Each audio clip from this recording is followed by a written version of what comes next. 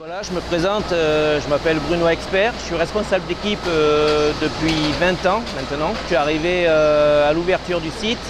Bah, je travaillais avant, j'étais opérateur sur une machine papier.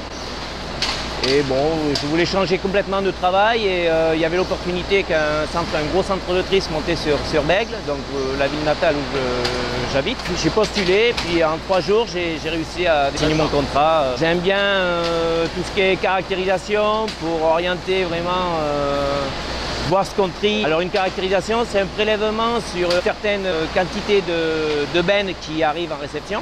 Et avec un technicien de la métropole qui se rend sur site, on la caractérise ensemble et en fonction de ça, euh, ils peuvent orienter euh, de la communication sur le secteur. C'est une anecdote d'une personne qui, faisait ses courses au marché des Capucins à Bordeaux. Et il avait posé sa sacoche sur le toit de sa voiture et en partant, il a refermé le coffre, il a oublié sa sacoche et il avait surtout une photo euh, qui tenait énormément. C'était la seule photo qu'il avait de son père. Effectivement, on a retrouvé la sacoche avec la photo.